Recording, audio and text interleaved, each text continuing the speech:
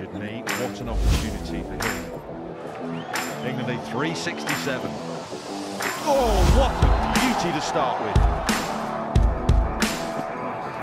Oh God, all ends up. What a brilliant Yorker. Massive breakthrough for Sri Lanka at the end of the first over.